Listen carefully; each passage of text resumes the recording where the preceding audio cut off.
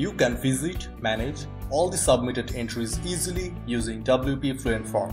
To view the submitted entries, follow one of the following paths.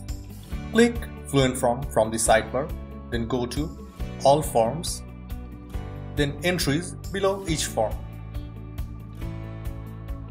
Or you can click on the Edit button below the form you are dealing with and click Entries on the top bar.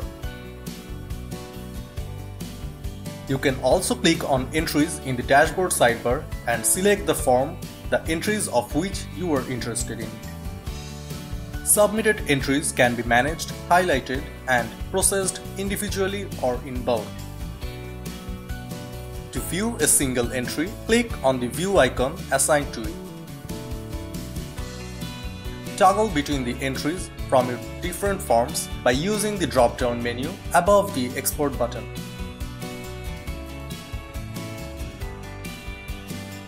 Export all the entries by clicking on the export button. Your complete entry list for that specific form will be downloaded in CSV format. Search for any specific entry using the search menu.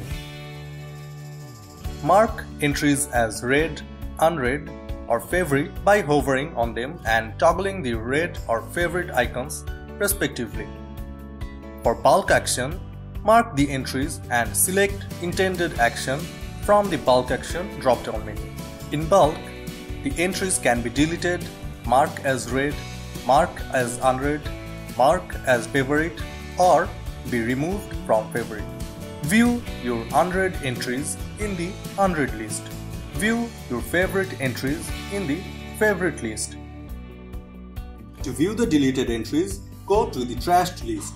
From the trashed list, you can restore or permanently delete the entries either individually or in bulk.